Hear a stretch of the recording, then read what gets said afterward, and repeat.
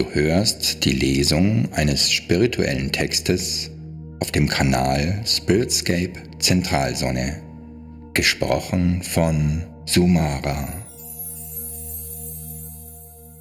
Elena von Das neue Bewusstsein 17. Oktober 2017 Wir sind kurz vor dem Ziel. Gebt nicht auf.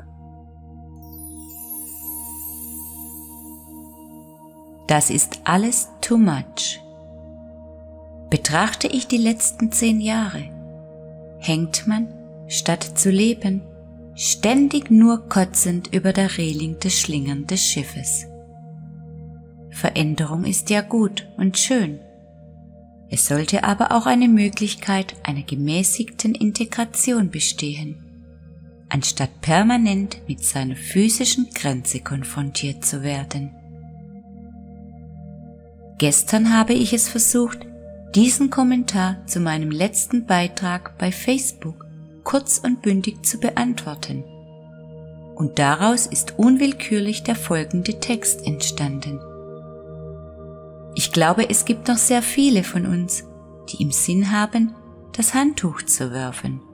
Und das kurz vor dem Ziel. Ich möchte euch so sehr aufbauen und ermutigen, meine Lieben.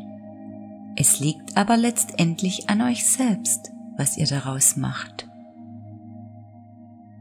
Ich kann es sehr gut nachvollziehen, dass einige von euch von hochfrequenten Portaltagen die Schnauze voll haben. Dass es für viele too much wäre, was diese Energien mit sich bringen.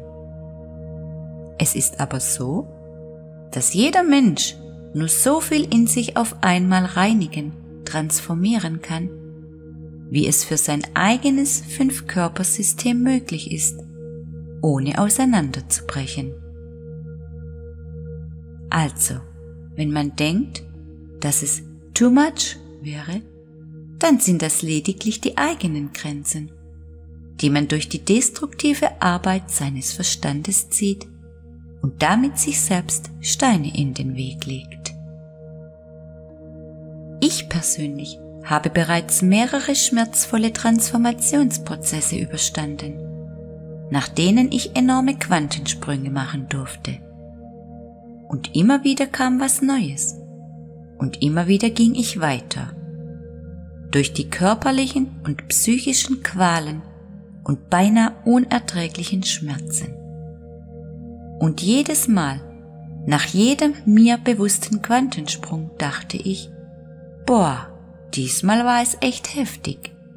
Jetzt bist du aber endlich rein und ganz. Und es ist leicht und schön gewesen, bis die nächste herausfordernde Welle kam. Und dann ging es wieder los, noch heftiger, noch schmerzvoller. Ich bin kontinuierlich seit gut drei Jahren mittendrin, habe aber nie den Impuls bekommen, das Handtuch zu werfen. Auch bei den letzten Portaltagen im September habe ich eine Hölle auf der Erde erlebt.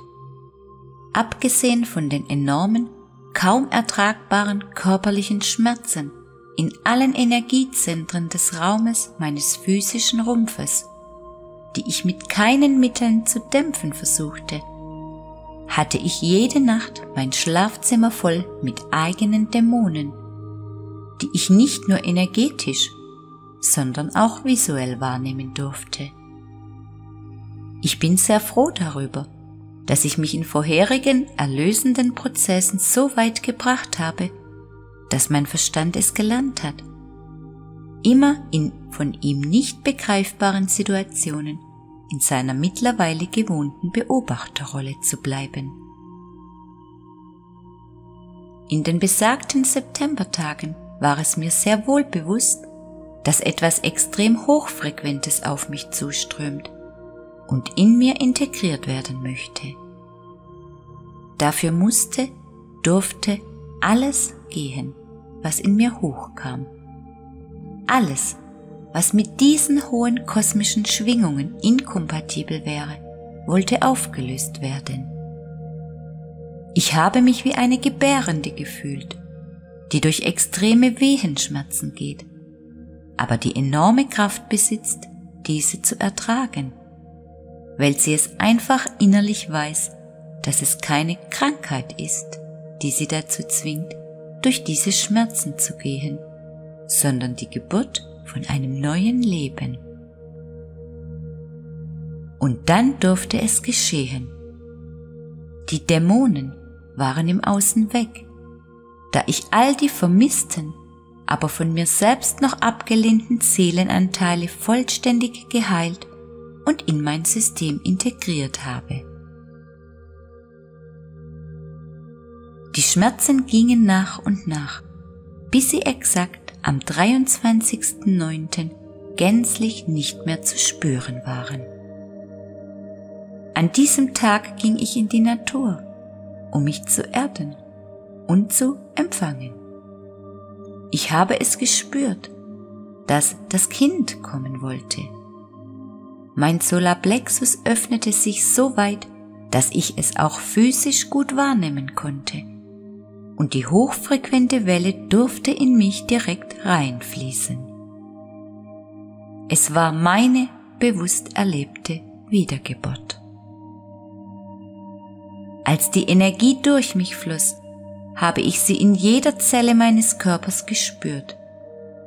Und danach war nichts mehr so wie vorher. Im Außen änderte sich nichts, aber in meinem Inneren war alles neu. Soweit zu dem 23.09. als prophezeite Apokalypse, meine Lieben. Heute freue ich mich auf die hochfrequenten Schwingungen, die unseren lieben Planeten bestrahlen. Ich fühle mich dabei so stark energetisiert, dass ich manchmal nicht weiß, wohin mit den kraftvollen Energien in mir. Mir ist es aber wohl bewusst, dass sie durch mich lediglich gut fließen und nicht nur für mich da sind nicht nur für meine eigene Freude und Leichtigkeit, nicht nur für meine Familie und Kinder, mit denen ich liebend gerne arbeite, nicht nur für meine Klienten. Sie fließen durch mich für die Erde, für das Kollektiv, für die neue Welt. Viele von euch haben die gleiche Aufgabe auf die Erde mitgebracht, meine Lieben. Nun geht es aber auch darum, seine eigene Reinheit zu erlangen, um diese Aufgabe zu erfüllen. Und die Reinigung ist halt schmerzvoll und quälend. Je reifer unsere Seelenessenz ist, desto mehr dunkle Aspekte tragen wir in uns. Von daher müssen die uralten, weißen Seelen in ihren Transformationsprozessen durch viel Leid und Schmerzen gehen. Wir haben dem aber eigenwillig zugestimmt. Es ist Tatsache, dass eine Gebärende durch die mögliche Betäubung der Wehenschmerzen es leichter hat. Aber jegliche Schmerzlinderung führt auch zu der Verlängerung der Geburtszeit. Ihr habt also die Wahl. Entweder fokussiert ihr euch auf eure Übelkeit und hängt ständig kotzend über der Reling des schlingernden Schiffes. Ich danke meiner lieben Facebook-Freundin für diese wunderbare Symbolik.